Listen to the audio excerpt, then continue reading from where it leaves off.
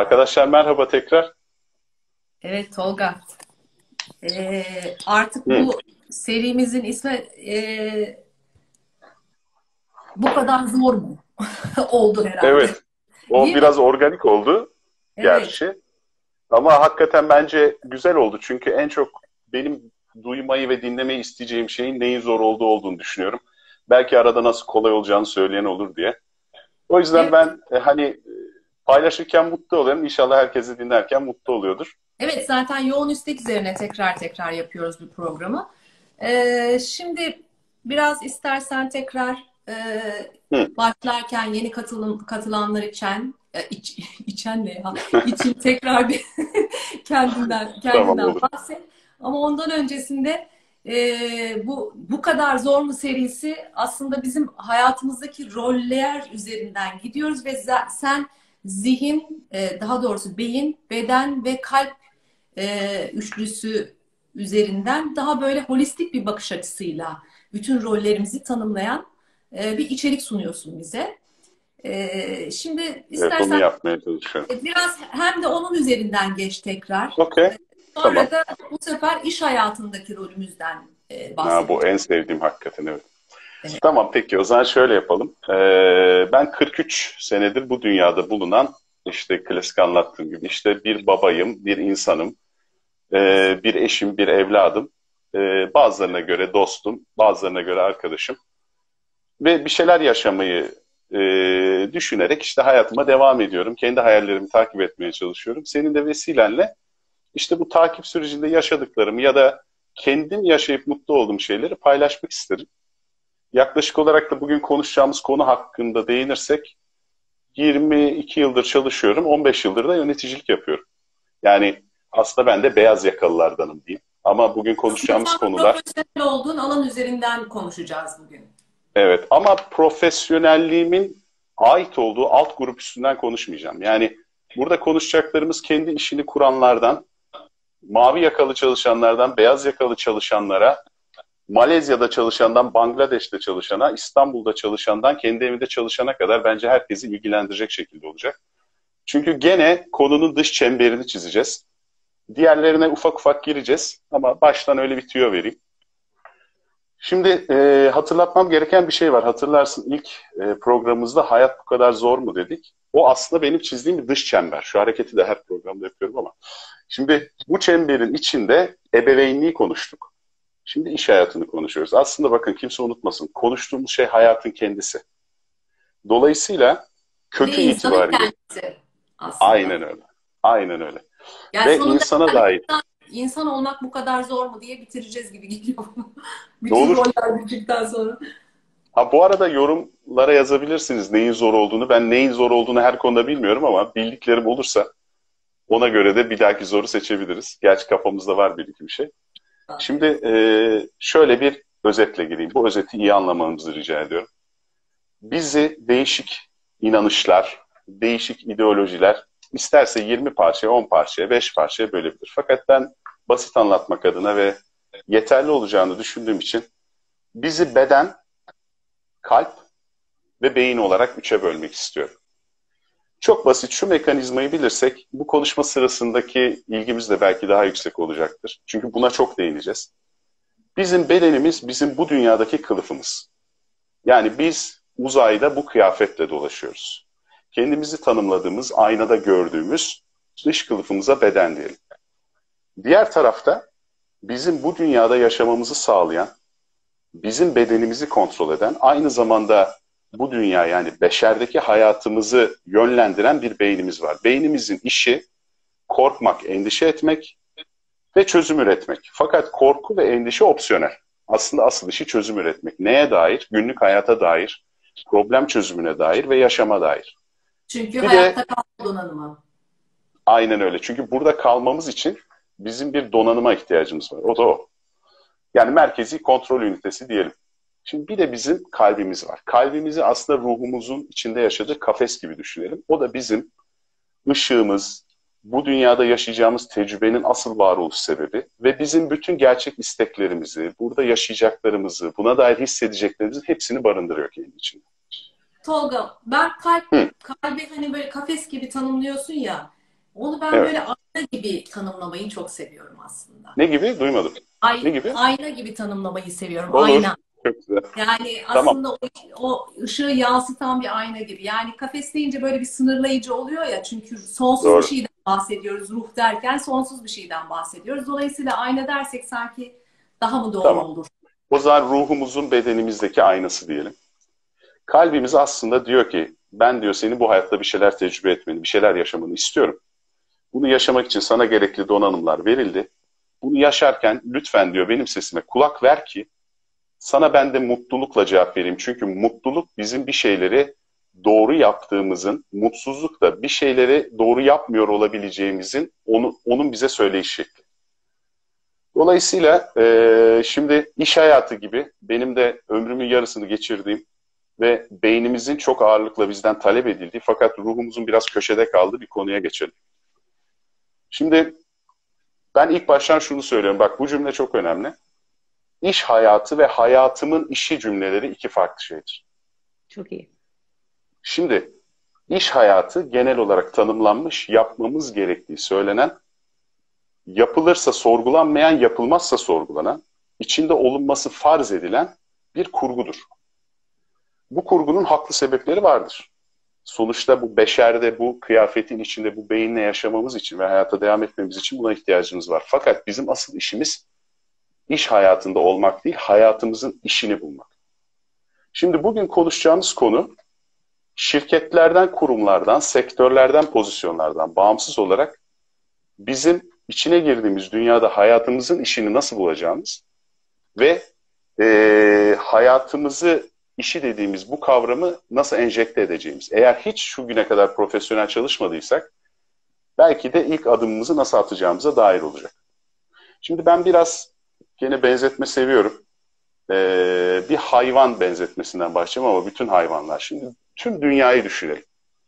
Çölleriyle, ormanlarıyla, gökyüzüyle, deniziyle. Milyonlarca hayvan var. Binlerce tür hayvan var.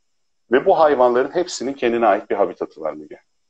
Mesela bir kaplanı ormandan, bir deveyi çölden, bir balığı sudan ayırdığın zaman o balığın hızlı yüzmesi, o kaplanın hayatta kalması, o devenin mutlu olması gibi bir şey yok. Dolayısıyla hiçbir hayvan aslında diğerinden zayıf ya da güçlü değil.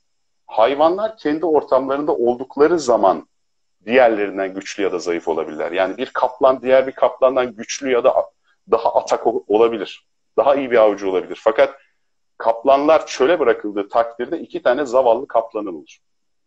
Veyahut da sen bir tane balığı alıp bir, bir yunusu bir ormanın ortasına atarsan o yunusun ne kadar güçlü, ne kadar hızlı yüzdüğü hiçbir şey değiştirmez.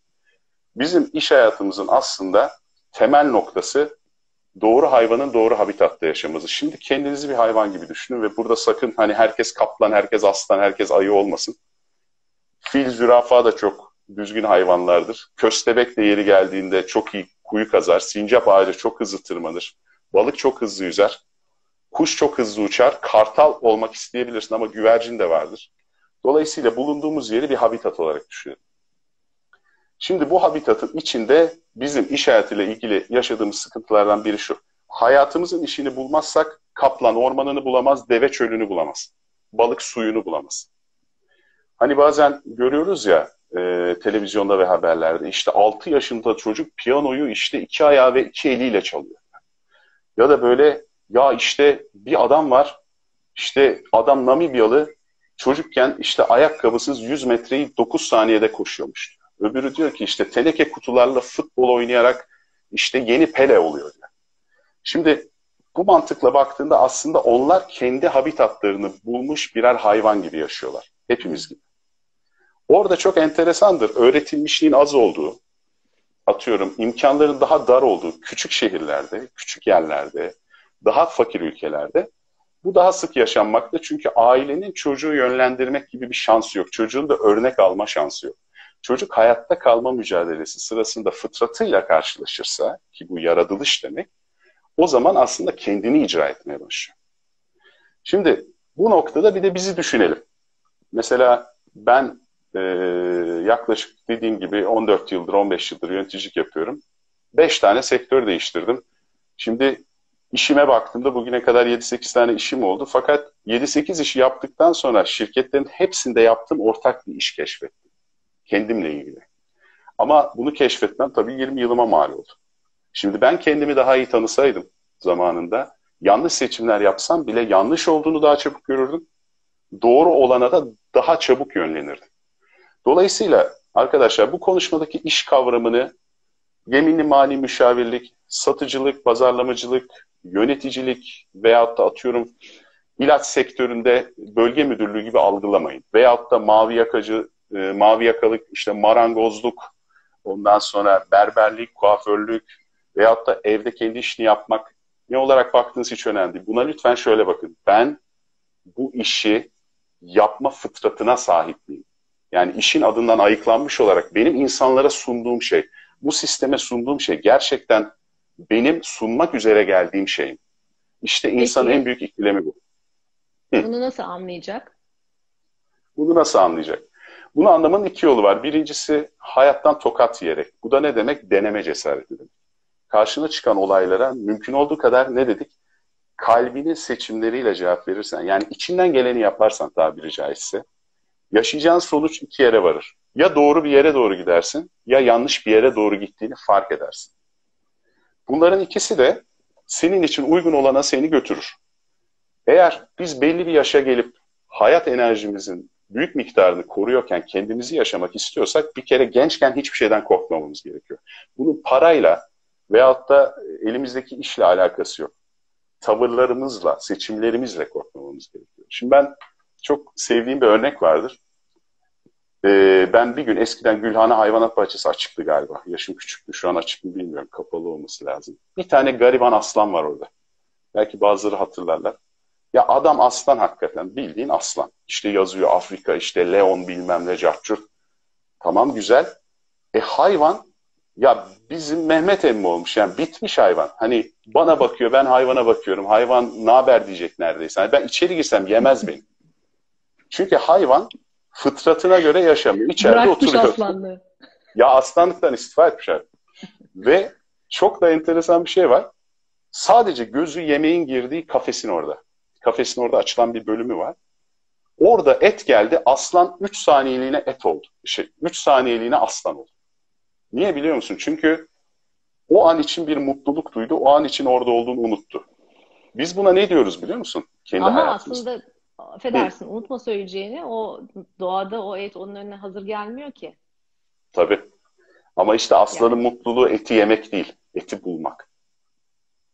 Çünkü evet. onun fıtratında avlanmak var. da değil yani orada eti gördüğündeki mutluluk. Evet. Sadece Aslan acıkmış zaten... olduğu için ihtiyaçtan dolayı dürtüsel bir mutluluk yani. Ya aslan mutlu değil. Yani yapboz versen onunla oynayacak durumda. Hayvan zayıflamış, kaslarını da kaybetmiş. Bak bu önemli, kaslarını kaybetmiş. Çünkü kaslarını kullanmıyor. Şimdi ne oluyor? Fıtratına aykırı yaşıyor. Et geldi, ete saldırdı. Eti zaten bir dakikada bitirdi. Sonra yarım dakikalığına aslana benzedi. Sonra tekrar oturdu ve bana bakmaya başladı.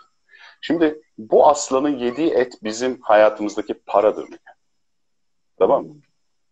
Çünkü biz Güzel. paranın bize getirdiği mutlulukları o kısa anlarını daha fazla yaşamak için daha fazla para isteriz. Çok inandığım bir şey söyleyeceğim. Kızan da kızsın. Para mutluluk değildir. Parasızlık mutsuzluktur. Yani paranın noksanlığı mutsuzluktur. Çünkü temel ihtiyaçlarını karşılayamazsın. Sorun nerede? Sen temel ihtiyacı nereye koydun? Yani sana göre temel ihtiyaç Porsche midir? Sana göre temel ihtiyaç kendi zevklerine vakit ayırabilmek midir? Sana göre temel ihtiyaç çocuğunu İngiltere'de okutabilmek midir? Şimdi demek ki e peki o zaman sen, temel ihtiyaç çok da para gerektirmeyen bir şeyse aslında parasızlık da mutsuzluk olmuyor çok. Şöyle orada hani minimumu düşün. Ee, çok mutsuzluk olmuyor ama tabii hani hiçbir şey alamayacak, hiçbir şey yapamayacak durumda olmak. bahsetmiyoruz ha, Aynen. Evet. Şimdi bu durumda aslında bahsettiğimiz şu. Aslan kendine sorulmamış ama bizden tek farkı o. Güvence adına özgürlüğünü ipotek altına alıyor. Diyor ki şimdi orada hiçbir vahşi hayatta saldıran olmaz. Yandaki maymun daha memnun zaten. Çünkü maymunun yeğeni var. Yandaki kuş daha da memnun. Kimse saldırmıyor. Aslana saldıran da yok. En kötü o almış o pazarlıktaki payını.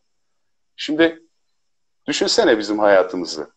Kendi özgürlüğünü veriyorsun, karşına güvence alıyorsun. Bak çok önemli bir şey var ama. Hiçbir işletme bizden bunu istemiyor. Biz bu takasa giriyoruz. Biz onlardan para talep etmiyoruz, mevki talep etmiyoruz. Biz aslında onlardan şunu talep ediyoruz. Ben sabah uyanınca sinir oluyorum. Ne yiyeceğimi, ne yapacağımı, ne yaşayacağımı düşünmek istemiyorum. Bana bu güvenceyi tesis et diyorsun. O yüzden yani de hepimiz benim hayat... sınırlarımı çiz, ben ne yapacağımı Evet. bileyim. Bu güven duygusu Aynen öyle. diyor. Öyle mi anlamam lazım? Ben o tabii o yüzden e, benim o içinde bulunduğum 20 senelik hayatta istersen CEO ol, dışarıda kendini işi yapan adama imrenirsin. Çünkü adam özgürlüğünü güvence için takas etmemiştir. Şimdi burada aslında mekanizmadaki bozukluk şu. İş yeri senden bunu istemiyor. tabii. Yani diyelim ona birazdan geleceğim. Birazdan Ama- geleceğiz evet. Birazdan geleceğim ona. Burada şu var. Sen kendi fıtratını kalbinle bulursun. Kalbinle bulduğun fıtratınla yapmak istediklerine çok aykırı bir şeyi başkası dediği için yaptığında ve burada da kendi özgürlüğünü ipotek altına aldığında mutsuz olursun. İş hayatı zor mu buradan başlıyor. Bakın dış daireden içe doğru gidiyor. Şimdi insandan ben işe kadar, yani yöneticiye iş verene kadar geleceğim. Merak etmeyin ama şu an durduğum nokta bizle ilgili. Şimdi burada e, kimse kızmasın. Herkesin inancı kendinedir ama hepimiz aslında çift inançlıyız. El alem tanrısı diye bir şeye tapıyoruz. Tamam mı bir yandan? Bu lafı bir yerde duymuştum. hoşuma kölesi olmak. Hah, desin. Aa süpermiş. Bu da güzelmiş bak. Desinlerin kölesi oluyoruz tamam mı? Desinlerin kölesi niye oluyoruz? Çünkü çok kişi derse doğrudur üstünden yürüyoruz sürekli olarak. Bizim için güvence çoğu kişinin söylediği ya da çoğu kişinin korktuğu şeydir. Dolayısıyla korkularını yapmamak, söylediğini yapmak mantığı üzerinden beş dil bilen adamlar koşuyor.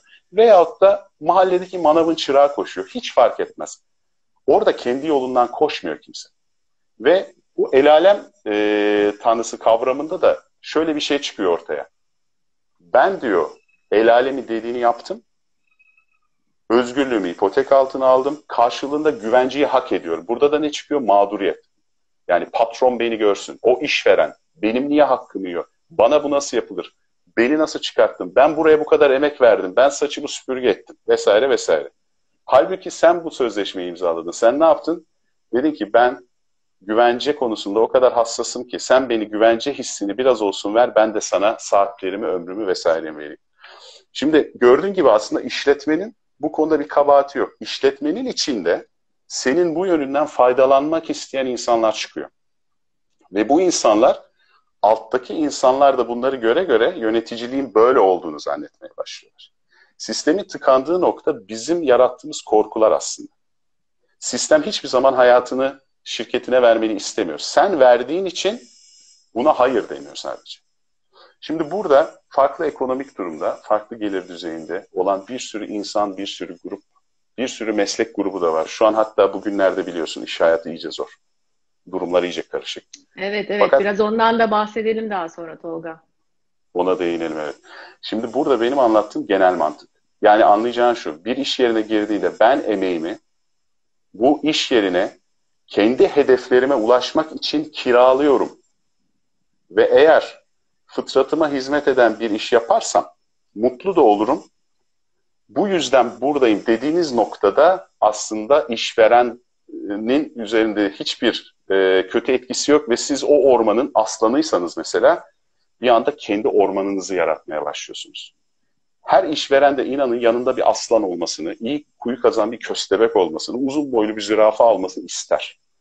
İşverenler de o kadar uğraşıyorlar ki senin aslında kendin için orada olmanı sağlamaya. Aynen. Bunu yaparsan çünkü beş katı performansla çalışıyorsun. Onun da işine geliyor, senin de işine geliyor. Hani severek işine gitmek vardır ya, severek işine gitmek çocuğun okul parasını ödemek için yapılan bir şey değildir. Doğru. Senin yaptığın, sevmeyi yaptığın şey karşılığı para almandır aslında bakarsan. Senin hatta bununla ilgili bir çalışman var benim bildiğim bir girişimin var. Bundan Evet. sonra o kutu diye. Yani Yeni. o kutu kaps, evet. O bence güzel olacak. Niye güzel olacak? Çünkü işverenlerin kişilere önem verdiğini hissettirmesi çok zorlaştı. Bunu yaptığı Evet. zaman ben sana birebir de kıymet veriyorum dediğinde belki herkes kendi kıymetini daha iyi hatırlar diye düşünüyorum. Evet Şimdi o kutunun burada- oluşumu da tam yeni dönem içinde doğmuş olduğu için tam da bu dönemin ruhuna göre yapılandı. Geri geldiği için şimdi söyleyeyim. Yani e, herkes çok organik bir şekilde oluştu bir kere. Tam da biraz önce söylediğin gibi oldu Tolga.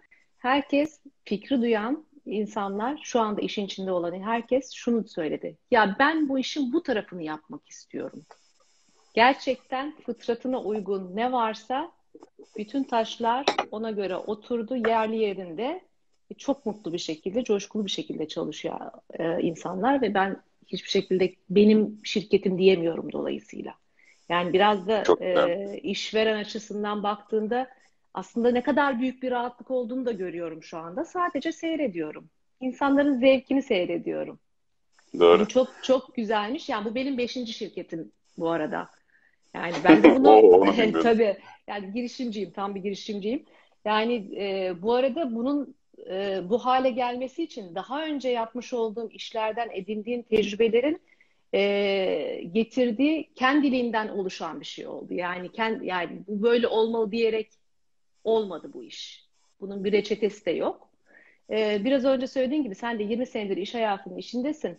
İşte e, iş hayatının içerisinde kendi işini yaparken hayatın işini nasıl oluşturursun baktığımda aslında benim şimdiye kadar yapmış olduğum bütün işlerin her iş için ne kadar gerekli olduğunu görüyorum.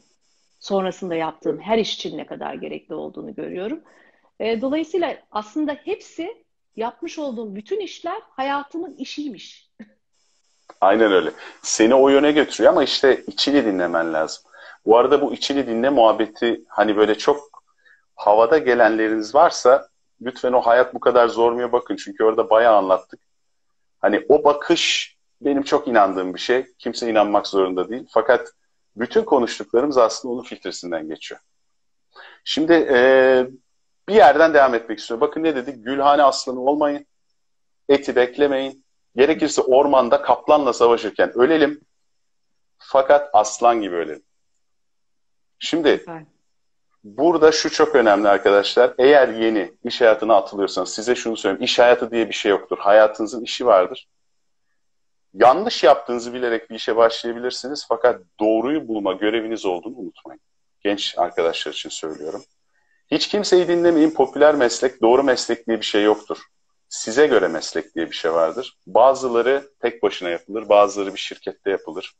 Bazıları ellerini kirleterek, bazıları beyninizi yorarak yapılır. Bunu bulursanız mutluluğun yarısı buradan gelir. Çünkü uyuduğum vakit kadar vakti en az iş hayatında geçiriyorum. Hepiniz de öyle. Şimdi burada e, konuyu bir çıt daha dara indiriyorum. Nereye geliyorum? Bugün çalışan insanlar, kendi işi olan insanlar, başkasının yanında görev alan, herhangi bir pozisyonda olan insanlar için söylüyorum. Arkadaşlar işletme organik bir makinedir. İnsanların sizin dışınızdaki herkesin bir parçası olduğu dev bir robot düşünün.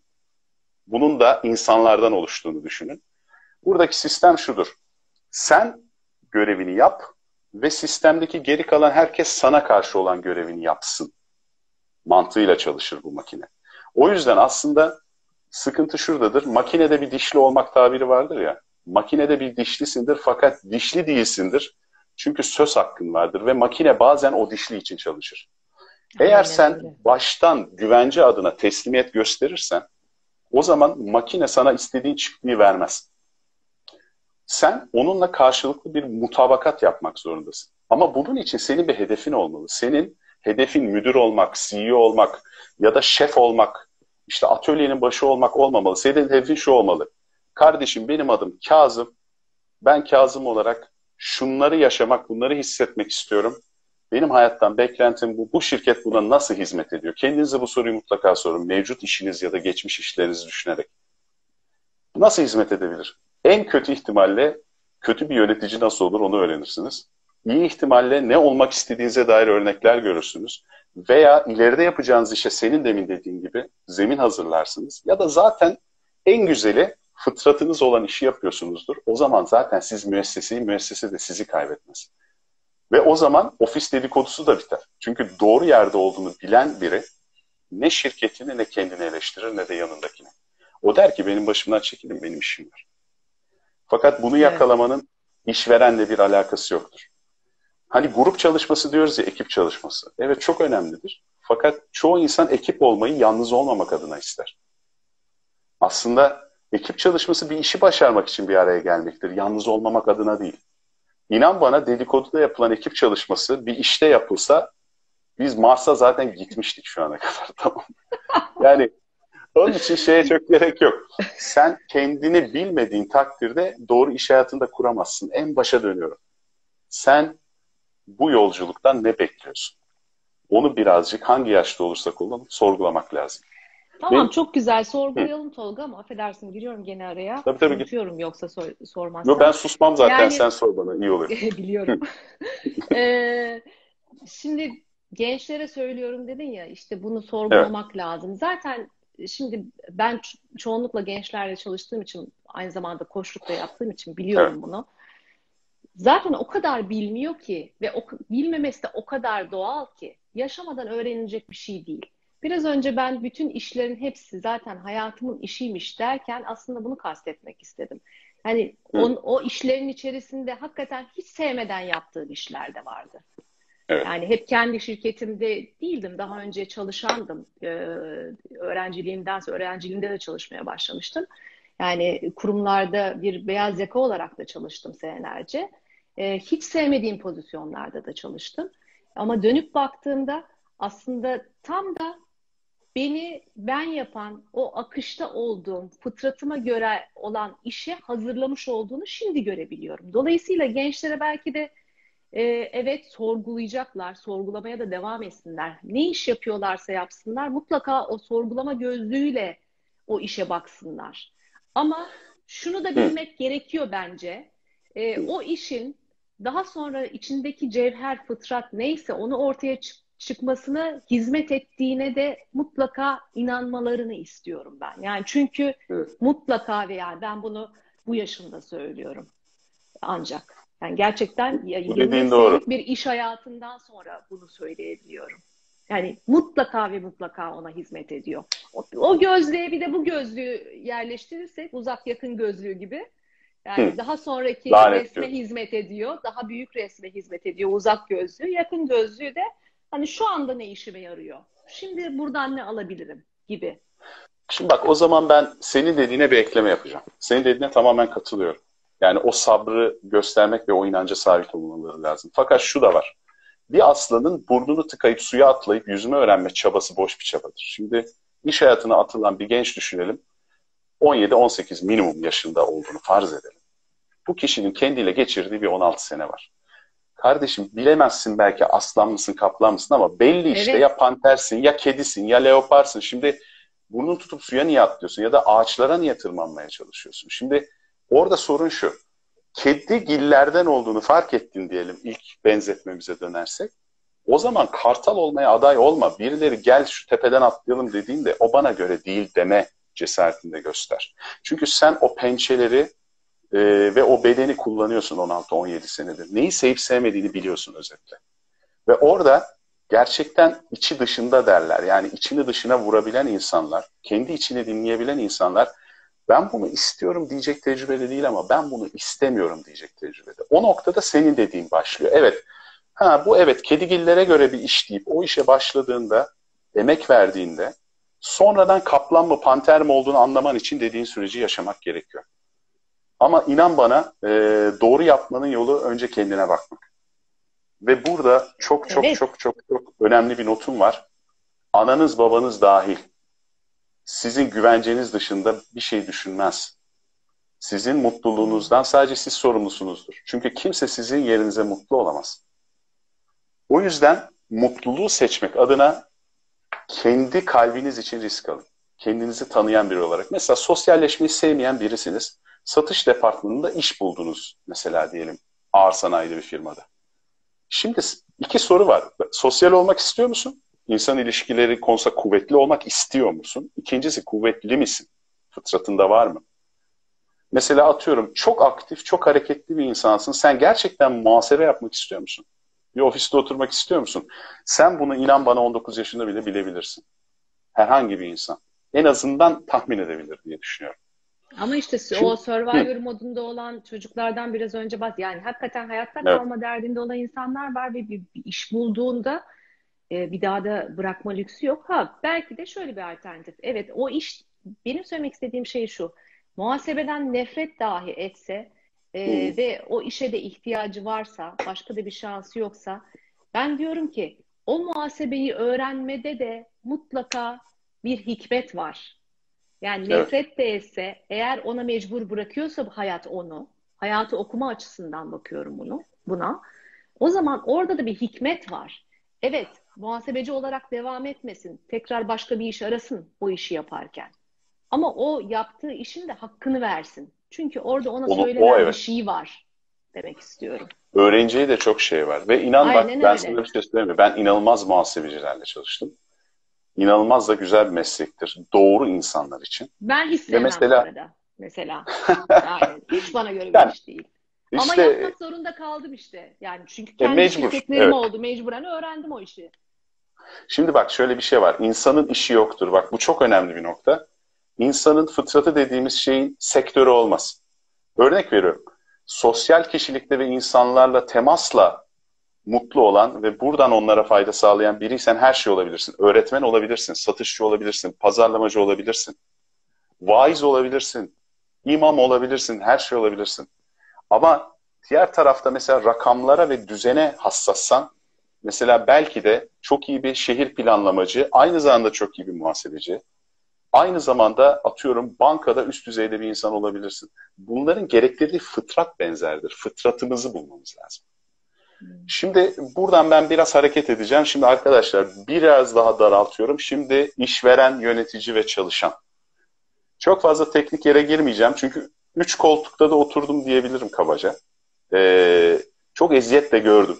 Hani zamanında o dediğin eziyetlerden. Çok mutlu da oldum ama meğerse benim fıtratımda birilerine bir şey anlatmakmış. Milleti içeri çekip çekip hayatla ilgili konuştuğumu fark edince işte böyle şeyler yapmaya başladım seninle. hani e, insan belli bir yerden sonra kendiyle yüzleşiyor. Şimdi korkuya gelmek istiyorum. Korku ve endişe.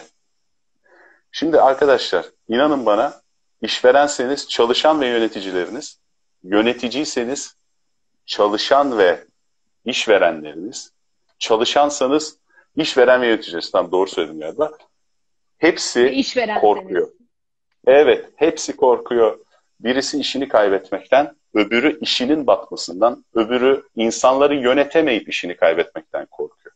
Yani bir oda dolusu korkan insan düşünün. Tamam mı? Şimdi hayvanların tabiatını düşün. Bir kedi yavrusunu köşeye sıkıştırdığında korkarsa seni tırmalar. Atıyorum bir aslan tırmalamaz, daha kötü yapar. Ama sonuç olarak herkes kendi savunma mekanizmasıyla saldırır. İş yerlerindeki genel sıkıntı şudur. Herkes diğerinin korktuğunu unutur. Diğerinin korktuğunu unuttuğu için yönetici der ki ya eyvah der ya ben otoritemi kaybediyorum. Kaybedersem bu personel beni mahveder. Çalışan der ki işte e, bu adamın dediğini yapmazsam ya da yanlış yaparsam bu adam beni işimden eder. İşveren de der ki Allah'ım ne olur herkes çok iyi çalışsın da benim müessesem batmasın der. Herkes bunun farkında olduğunda karşındakinin korkularını yok ettiğinde onun senden korkmaması gerektiğine ikna ettiğinde sen de bir yandan kendi fıtratına uygun olan işi icra ediyorsan sen oranın vazgeçilmezi oluyorsun. Yani organizasyon şamasında en üste çıkıyorsun. İstersen metal kaynakçısı ol, istersen mobilya ustası ol, ne olursan ol. Sen doğru işi yapıyorsan, tekrar söylüyorum, ve diğer insanların senden korkmaması gerektiğini onlara insanlığınla anlatabiliyorsan, onlar senden korkmayınca insana dönüşüyorlar. Bakın hepimizin bu hayattaki amacı insan olmak, insana varmak. Biz insan olma yolundaki insancıklarız. Hepimiz. Ve bu yolda gitmek için ilk önce karşındaki insana insan olduğunu, onun da insan olduğunu ve korkmasının doğal olduğunu hatırlatmanız lazım. Bakın o kadar ahlakı bozuk insanlarla da çalıştım ki hepiniz gibi. Bu insanların çoğunun aslında bu ahlaksızlığı bir korku mekanizması olarak yaptığını gördüm. Ailelerini çok seven, çok düzgün insanlar olduklarını fakat korktuklarını gördüm. Bu korkuyu onlardan alırsanız o korkuyu alan insan olarak onların gözünde çok kıymetli oluyorsunuz aynı zamanda. O yüzden alt, üst, o bana bunu dedi vesaire yok. Bakın gelişim kitapları okuyabilirsiniz iş hayatıyla ilgili. Önce nerede gelişeceğinizi seçin. Nerede gelişeceğinizi seçmeden okuduğunuz bir kitap sizi CEO yapmaz. Hiçbir CEO da o kitabı okuyup CEO olmamıştır. Ama bir CEO o kitabı okursa daha iyi bir CEO olabilir. Dolayısıyla kedi miyiz, kuş muyuz, ördek miyiz, kaz mıyız? İlk önce onu göreceğiz. Bu kitap Şimdi, kendi kitabımız o zaman. Aynen. okumaktan bahsediyor. Aynen öyle. Ve kendi kitabını da yaz. Sana bağlı insanlar, işe yeni girenler, hatta amirlerin hayatla ilgili, işle ilgili düşündüklerini paylaş. Çünkü bu iş el vererek oluyor. Kimseye doğru yolu göstermeden herkes yanlış demek kadar kolay bir şey yok. Doğru yolu göstermek ağzın laf yapmıyorsa bile doğruyu yaparak olur. Ve inanın bak bunu yaklaşık 8-9 senedir genel müdürlük yapan biri olarak söylüyorum. Hiçbir zaman eşitlik dağıtamadım. Elimden geldiği kadar adalet dağıtmaya çalıştım. Beni seven oldu, sevmeyen oldu. Fakat en azından eve gittiğim zaman dedim ki ben kimseyi korkuttum mu? Ya da korkularını yok etmek için uğraştım mı? Eğer uğraştıysam ve korkutmadıysam o gün güzel bir gün. Ve her kademede bunu yapabilirsiniz. İnanın bana çayı getiren ablaya iyi davranın. İlk demlediği çayı size getir. Birisi size çayı yeni koydum biraz bekle diyorsa o kişi sizi seviyordur zaten iş yerinde. Şimdi e, burada ufak bir konuya gireceğim. Soru cevap yapalım mı? Yine bu arada. Ee, birazdan bakalım soruları. Bu arada insan ha, ona göre ayarlayacağım. bahsettin ya. E, evet. İnsan kelimesinin manası ünsiyetten geliyor Tolga ve ünsiyet etmekte dostluk, Hı. arkadaşlık, yakınlık aynı zamanda da idare etmek manasında. Yani ha. E, yani insan insan olabilmek için neden biz sosyal canlılarız? Canlılarız. Onun da cevabı var aslında. Yani gerçekten bu hayat eğer bir insan olmaya yolculuğuysa o zaman işte bunların hepsi de buna hizmet ediyor. Yani devamlı Aynen aslında öyle. evet sen işte o korkudan bahsediyorsun ya aslında korktuğun şey karşında gördüğün ve on, korktuğun şey tamamen kendinle alakalı. Kendinde neyi kaybetmekten korkuyorsun? Kendinde görmüş olduğun şey, karşında görmüş olduğun şey kendinde olmazsa göremezsin çünkü. Yani o korktuğun şey mutlaka sende var, potansiyel olarak var. Aynı oluyor karşında sana. Aynen öyle. Doğru söylüyorsun. Ee, Ve, istersen bu, biraz daha devam edelim. Daha sonra okay. sorulara geçelim. Ee, bu dediğine şöyle bir ekleme yapacağım. Ee, şimdi çok para kazanıp harcayan insanlar var. Az para kazanıp eve 100 inç ekran televizyon alan insanlar da var. Dolayısıyla el alemin beğendiği, el alemin takdir ettiği şeylerle kendimizi takdir etmeye başladığımız zaman çok para diye bir şey de yok. Her para az. Dolayısıyla ilk önce kendi taleplerinizi gerçekleştirmeniz lazım ki iş yerinin yani o organik makinenin e, o mak- makineye muhtaç olmayın. Çünkü ben şuna inanıyorum. işini iyi yapan herkes özel durumlar ve büyük şanssızlıklar hariç hayatını idame edebilir. Fakat televizyonda gördüğünüz birini yakalamak ayrı bir yarıştır. Eğer tazı evet. değilseniz tavşan kovalamaya gerek yok. O zaman zenginlik aslında senin ihtiyaçsızlığınla doğru orantılı. Sen Aynen. ne kadar ihtiyaçsızsan o kadar zenginsin. Aynen Değil öyle. Mi? Ve mağdur edebiyatını Para, bırakalım alakası artık. yok yani gene. Tabii alakası yok. Ve mağdur edebiyatını bırakalım. Çünkü mutlu değilsek ayrılabiliriz. O an için ihtiyacımız olabilir, bekleyebiliriz. Fakat dediğim gibi mağduriyet bizim onların bize bakmak zorunda olduğunu düşünmekten kaynaklanıyor. İş yerinin. Ve orada dediğimiz gibi ben sana özgürlüğümü verdim dediğimiz noktada güvence beklentisi bizi onların çocuğuymuş gibi davranmaya itiyor. Ve bu çok dedikoduya sebep olan bir şey. Bunu yapmadığınızda zaten ayrışıyorsunuz ve daha mutlu oluyorsunuz bence. Şimdi tamam, burada iş, ben yani hep çalışanın şeyinden e, o e, hap, evet. hapishanesinden bahsettik. Bir de işverenin evet. hapishanesinden bahsedelim mi Tolga? Ha, o güzel evet. Ona değinmeden çıkarsam baştaki beyanım tutmamış olurdu. Şimdi şöyle bir durum var Müge. İşini kuran adam yeni çocuk sahibi olmuş adamdır. İşini büyüten adam çocuğunu büyüten adamdır. İşini kaybeden adam çocuğunu kaybeden adamdır. Konu bu kadar. Onun için derler ya ya bu kadar büyüktün satsana derler. Çoğu kişinin eli gitmez. Kendi kurduğu işi satmaya. Ve biz e, duygusal insanlarız. Türkler olarak. Şuna çok inanıyorum ben. Kendi işinizi kursanız bile kendi çocuğunuzun oyuncağı olmayın. Yani o mekanik makine sizi de yutabilir. Bravo. Siz Onun bir şeye emek işte. Aynen. Çünkü o bile senin mutluluğuna, o bile senin isteklerine hizmet etmek için senin tarafından yaratıldı. Sen bu sefer kendi yarattığın şeye köle oluyorsun. Bravo. Ve bu olduğu zaman ne oluyor biliyor musun? Bu olduğu zaman sorumlulukları çok büyük olan bir işçiye dönüşüyorsun. Çünkü bir çalışan ceketini alıp çıkabilirken sen ceketi de bırakıyorsun. Çünkü maliye geliyor. Anlatabiliyor muyum? Ceketi de alıyorlar. Şimdi bu durumların olmaması için şu var. Hedefi kaçırmamak. Türkiye'deki hırsların bakın COBİ'lerdeki hırsların en büyük sebepleri benim kendi gözlemim. İnsanların kendini işiyle tanımlamasıdır. Yani yanındaki kendi tanıdığı insanlara işini ne kadar iyi yaptığını anlatmak, ne kadar doğru yaptığını anlatmak, bu konuda konuşmak istediği için böyle bir çevre kurmuştur ve başaramadığını söyleyememek yüzünden kendi işini batıran olur. Çünkü genelde gereksiz büyüdüğü için batırırlar. Halbuki sen o işi kendi işini yapmak için kurmuştun. Büyümekte bir sakınca yok. Ama sen işi niye kurduğunu unutarak devam ettin. Dolayısıyla benim tavsiyem şu. Kendi işinize bir dönün bakın. Deyin ki bu işin getirdikleriyle ben ne yapıyorum? Bu işle değil. Bu işin getirdiği şeylerle, parayla, imajla veyahut da mutlulukla, zevkle neyse artık ben birilerine faydalı oluyor muyum? Kendime faydalı oluyor muyum? Bundan 15 sene önce, 30 sene önce kurduğum hayallere hizmet ediyor muyum? Sorusun cevabı hayırsa o zaman işinizi değiştirmeyin ama işe bakışınızı değiştirin derim. O yüzden bak nereye geldik? Yönetici, işveren, işçi aynı pozisyonda. Bakın evet, çok önemli. Hiçbir fark en başa, en başa dönüyorum. İş hayatı insanın kurgusudur. İşi, hayatının işi insanın gerçeğidir. Aslan, kaplan, zürafa, gergedan, hipopotam. Kuş, ördek, serçe hiç fark etmez. Kendi hayvanınızı bulun, onu doğru ortamda yaşatın. Eğer bir işte çalışıyorsanız kendinize bir köşe ayırın. Orayı bir orman, orayı bir çöl, orayı bir deniz ya da gökyüzü yapın. Orası sizin olsun. Ve o işveren de desin ki benim yanında bir aslan çalışıyor. Niye? Aha bak burada ormanında yatıyor görüyor musun? Desin ki bak burada benim yanında bir Yunus var. Bak denizinde yüzüyor desin. Kim yanında istemez ki güçlü insanlar? Aynen. Güçlü olmanın yolu kendin olmak.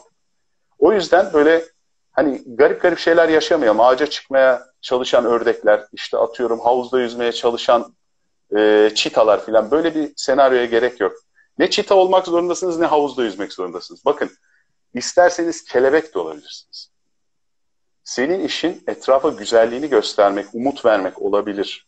Bu senin fıtratın olabilir. O zaman salına salına ortalıkta dolaş. Belki senin işin budur. Ama sen neysen onu sevmek zorundasın. Sevmezsen o sana hizmet etmiyor çünkü. Ve inanın hayatınızda, kariyerinizde gerçekleştirdiğiniz olayların neredeyse hiçbiri planlı değildir. Sadece gerçekleşince herhalde şu yüzden oldu deriz. Dolayısıyla bizim dışımızda gelişen ama bizim için gelişen şeyler olduğunu kabul ettiğimizde iş hayatının stresi de oldukça azalıyor. Ben 2002 yılındayken Doğuş Holding'de çalışıyordum. Ee, o dönemde bir arkadaşımın bir lafı vardı. Ya diyordu Ayvalık'ta domates yetiştirmek istiyorum diyordu. Şimdi Ayvalık'ta domates ekeceğin yer kalmamıştır gerçi o bizim eski laf ama herhalde şimdi nereler olduysa orası.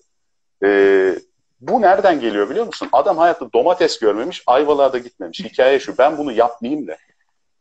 Ben şunu yapayım diyor. Orada bir şey var, hani tersini isteme durum var. Halbuki şirkette çok mutlu olan insanlar da vardı. O zaman konu kişinin kendiyle ilgili ve inan Ayvalık'ta domates yetiştirse ne domatesten ne yaptığından memnun olmasın. Hani işte ya bu yüzden ne, aslında neye hizmet ettiğini biliyor olmak bile bu yönden acayip özgürleştirici evet. bence. Yani o büyük resmi işte görmekten gene bahsedeceğim. E, çok bilinen bir hikayedir işte iki tane beton işçisine sormuşlar bir tanesi e, sorduklarında demiş ki ne yapıyorsunuz diye sorduklarında e, beton döküyorum demiş. Diğeri de sorduklarında mabet yapıyorum demiş. Yani işte. Bir, bir mabetteki beton işçisiymiş. Yani ve ikisi yan yana çalışıyor değil mi? Ve ikisi yan yana çalışıyor. Şimdi ikisinin mutluluğu aynı olabilir mi? Beton dökenle mabet yapan arasındaki duygu aynı olabilir mi? Hayır. Dolayısıyla hakikaten neye hizmet ettiğini, buna hizmet ederken de senin hayatına ne kattığını görebilmek, bunun farkında olmak ve olduğu gibi de onu kabul etmek. Kabulden bahsettin ya çok önemli bence. Evet. Bu da yani aslında e, kendinden, hayatından razı olan insan kendinden razı olmaya başlar. Kendinden razı olan insan da kendini bilmeye başlar bir süre sonra. İşte o zaman da kendini bilen insan demek zaten fıtratının ortaya çıkmış olması ve artık o akışta e, o e, dalgaya karşı değil de e, dalgaya bırakmış bir şekilde, teslim bir şekilde giden ve onun zevkini çıkaran insan demek. Aynen öyle ve başka da zevk yok zaten.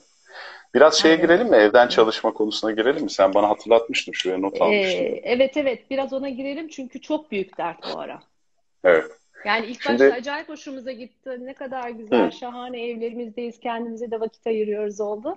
Sonra e, ne kadar kendimize vakit ayıramadığımızı gördük. Ne kadar zamansız ve mekansız bir duruma geçtiğimizi gördük. E, gece yarıları ben geçen gün yaptım. Yani birisine mesaj attım ve saati fark ettiğimde o kadar utandım ki. E, çünkü yani bütün gün evdeyim. E, saat mevhumu tamamen bitmiş durumda. E, devamlı bunu hatırlatıp yani şu an e, İsküdar Üniversitesi'nde bir arkadaşım, hoca olan bir arkadaşım e, bir anket yaptı e, Tolga. 5000 kişi üzerinde bir anket yaptı. 5000 kişinin %70'inin diş fırçalamayı bıraktığını söyledi. Yani bu, bu çok ciddi Hadi bir ya. rakam. Büyük Aynen rakam. öyle. Çok büyük bir rakam. Ve yani bu artık kitabi depresyon belirtisi. Yani öz bakımı bırakmak depresyon belirtisi. Sen Doğru. sabah kalkıp işte pijamanla eğer bilgisayarın başına oturuyorsan zaten depresyona girmemen mümkün değil. Daha önceden yapılan çalışmalar da bu pandemi olmadan önce home ofislerle ilgili yapılan çalışmalar da zaten bunu gösteriyordu. Ee, zor bir dönem ama mutlaka bize gene söylediği bir şey var. Oraya bir bakmak lazım. Ee, sen nasıl görüyorsun? Ben şöyle görüyorum. Şimdi e, doğum esnasında hani çocuğu olanlar onu iyi bilirler. İçeride bağırış çağırış gelir, sonra bir ağlama gelir, sonrası mutludur zaten. Şimdi şu an bağırış çağırış dönemi. Niye? Çünkü iş yerinin senin performansını ekranda durduğun saat dışında ölçebileceği enstrümanlar çok değil. Yani diyor ki işte sabah senin mesain kaçtı diyor 8 ile 5 arasında. Hiçbir erkek de çıkıp şey diyemiyor. Hani ya iyi de biz Ergün abilerle çay içiyorduk öğlen. İşte arkadaşlarla arada goy goy yapıyorduk. Bir de YouTube'a giriyorduk diyemediği için senin bir anda iki katı çalışman gibi bir şey çıktı ortaya. Online çalışıyorsan. Bu aslında problemin küçüğü. Çünkü bu çözülecek bence Müge. Niye çözülecek? Çünkü şirketler bunu ölçmenin farklı yollarını bulacak. Eğer sadece saat hesabı olsaydı hepimiz e, sadece bir koltukta oturmaktan sorumlu olurduk. İşlerin sonuçlarına daha odaklı işverenler oluşacak zamanla. Ve bunu ölçmenin yollarını bulacaklar. Fakat asıl endişem şu. O önemli bir konu. Sonra iyi haber söyleyeceğim. İş hayatında tecrübesi yeni olan ya da yeni başlamış kişilerin insan teması, ticaret veya işte münazara veya da sırf ofis ortamında sosyalleşme gibi şeyleri yaşamaları şu an mümkün değil. En büyük o yüzden, o zaten. Evet. O yüzden ben şunu çok arzu ediyorum. Bu insanlar mümkün olduğu kadar kendilerinin bu yönlerini ayakta tutsunlar. Çünkü bu iş bittiği zaman bir ofisin içine girdiğiniz zaman size inanın toplantıda konuşulan şeyler lazım olmayacak. Size diğer insanlar lazım olacak. Ve o yüzden şimdi iyi tarafına geliyorum. Bu dönemde şunu anladık mı? Aslında bizim sabah servise binmemiz gerekmiyormuş. Şimdi çoğu sektör için konuşuyorum. Bunu anladıysak özellikle büyük şirketlerde biz aslında kendi hayatımızı keşfetmeye, o bahsettiğimiz kalbimizdeki arzuyu bulmaya veya işimizi kendimize göre yapmaya vakit ayırabilirmişiz ve bu vakti ayırmalıymışız. Çünkü aslında her şey kendi kendine biz olmadan da yürüyormuş, dünyada yok olmuyormuş. Ya öz o yüzden... disiplin öğretiyor bir kere ya yani. Tabii ya. İnanılmaz bir öz disiplin öğretici bir dönemdeyiz. Yani bunu yapmazsan işte depresyona giriyorsun. Diş fırçalamayı da bırakıyorsun. E, kışın herkes şort giyiyor şu an. Dünyada hiç görülmemiş bir şey. Çünkü ekranda belden yukarı gözüküyor. Yani bende şort yok şu an ama. Hani genel olarak öyle de bir durum var. Herkes daha rahat. Ve ben diyorum ki hobiniz yok mu? Hobi araştırın. Bir şey denemediniz mi? Onu deneyin. İnanın bana evet evlerden çok çıkamıyoruz, bir şey yapamıyoruz ama okumuyor musunuz? Biraz okuyun. Kendinizi daha fazla tanımaya çalışın. Bu karantina bittiği zaman, bu hastalık bittiği zaman daha farklı bir insan olun.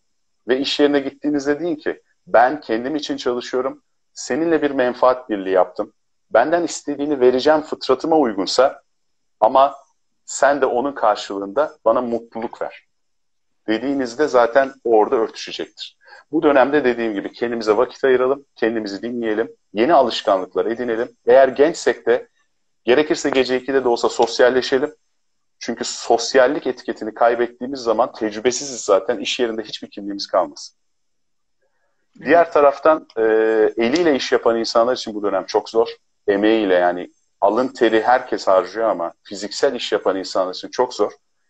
Çalışanlara da zor, çalışamayanlara da onlara da gerçekten kolay gelsin diyorum. İnşallah biter bir dönem. İnşallah. Evet. Son, son olarak da bir ricam var. Lütfen Allah aşkınıza kimseye ne iş yapıyorsun diye sormayın ilk tanıştığınız dakika.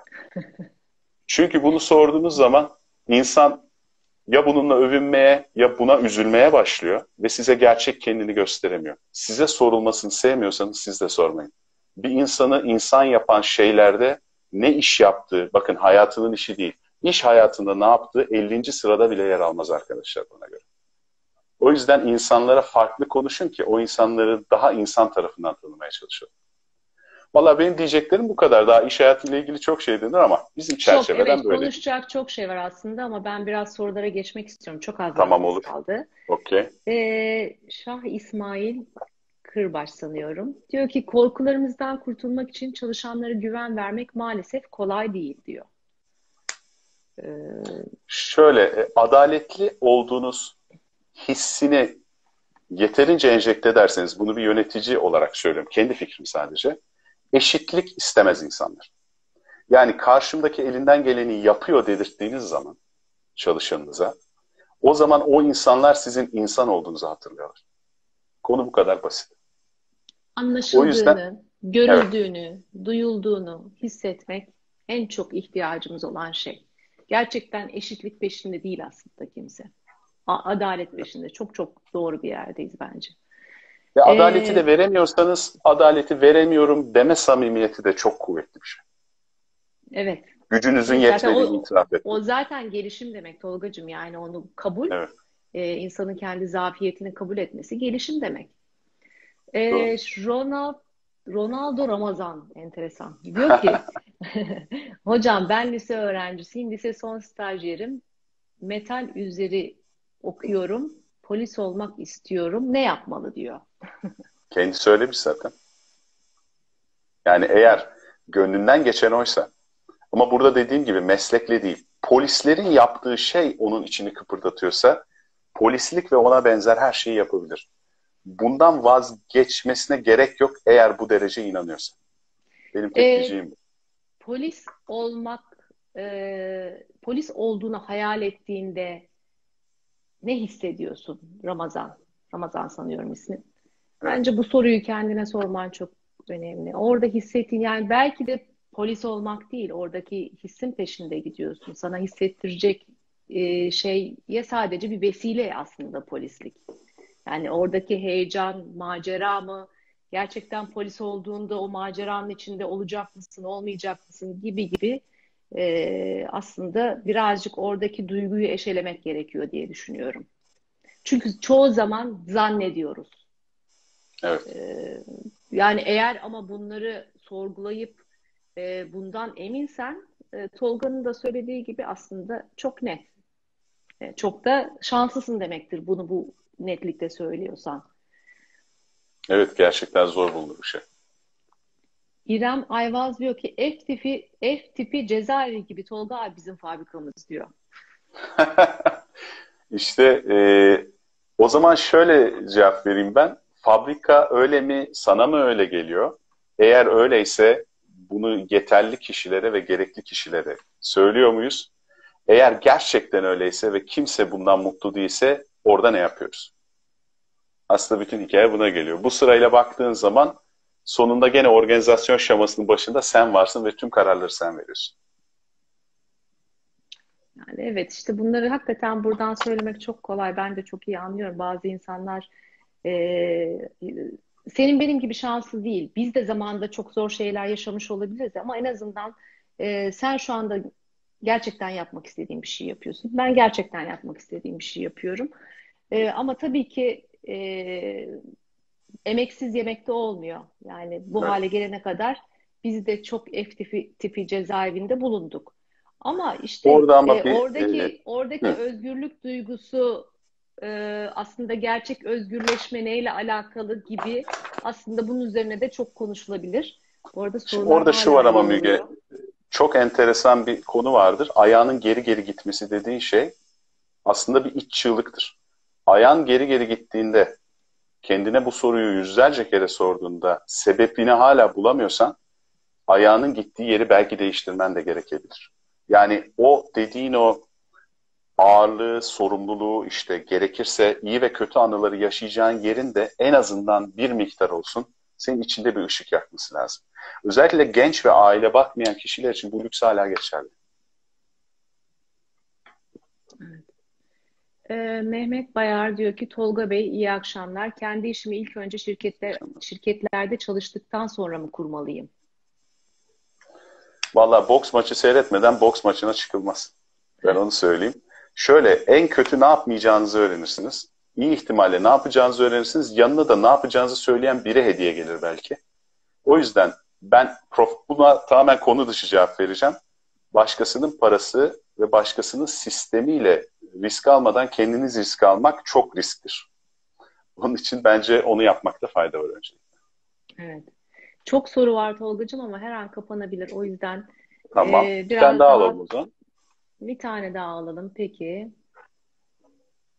Buna bir vedalık vakit bırak da. Selam Tolga, Tahir ben.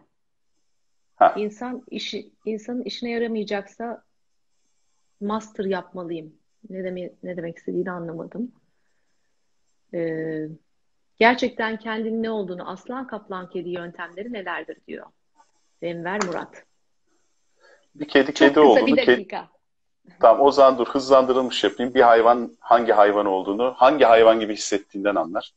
Dolayısıyla dedim ya sen hayatında normalde nasıl birisin, hangi işler bununla örtüşüyor diye bakarsan hangi hayvan olduğunu bulursun. Senin yaşamaktan mutlu olduğun ortam ve sosyal çevrede senin ormanın, senin çölün, senin denizin, senin göğündür. Neyse hızlı yaptık ama oldu galiba. tamam veda yani bir, bir, bir çıta koşarken ben niye koşuyorum diye zaten sormaz. Aynen. Bir de koşamadığı zaman sıkıntı yaşar. Çitalığın anlamanın iki yolu var. Koşarken mutlu olmak, koşamayınca sıkıntı yaşamak. Evet. Evet aslında. Oradan topluyorsun çok... delilleri. Aynen öyle. Peki. Tolgacığım gene zaman aktı geçti seninle. Çok, Vallahi çok teşekkür yani. ediyorum. Arkadaşlar YouTube'a yükleyeceğiz e, programı. E, cumartesi günleri yayınlanıyor. YouTube'da yayına geçiyor. Açık Beyin YouTube kanalında. E, bir sonraki konumuz ilişkiler bu kadar zor mu? Olacak. İyi, onu belki böleriz çünkü aşklar, ilişkiler, işte arkadaşlıklar. Bir onu konuşuruz çok ama ilişkiler çok güzel bir konu. Bunlar. Peki, tamam. Allah Çok teşekkür ediyorum. Hadi görüşürüz. görüşürüz. İyi akşamlar herkese. Teşekkür ederim. İyi akşamlar arkadaşlar. Sağ olun. Evet.